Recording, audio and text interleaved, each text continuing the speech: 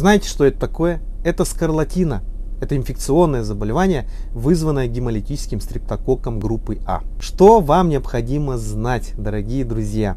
Ведь данное заболевание а чаще всего болеют наши дети. И многие путают это заболевание, например, а, с аллергией, или со стоматитом, или другими инфекционными заболеваниями. Три важных симптома при скарлатине, которые вам необходимо запомнить, сохранить. Конечно, как и при любых инфекционных заболеваниях, у ребенка будет лихорадка, интоксикация, недомогание, головная боль. Но кроме этого, три важных симптома.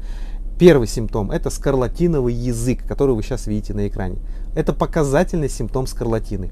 На второй-четвертый день болезни язык больного ребенка становится выраженно зернистым, ярко-красного цвета. Его еще называют малиновый язык. Второй симптом это ангина, то есть сама скарлатина не протекает без ангины. Обязательно будет ангина, может даже протекать тяжелее, чем обычная ангина. Третий симптом это скарлатиновая сыпь. Она мелкоточная, розового цвета. При нажатии шпателем, например, эта сыпь а, становится ярче, то есть э, видно ее четче. Выступает на первый, третий день заболевания и локализуется главным образом на боковых поверхностях туловища, на щеках, в паху, а, значит, на сгибах, то есть это локтевые, плечевые, а, коленные, а, паховые изгибы. А также отличительным таким симптомом это кожа носогубного треугольника становится бледной и свободной от сыпи. То есть щечки у нас будут в сыпи, а носик, носогубный треугольник будет бледный. После исчезновения сыпи возникает э, в этом месте шелушение.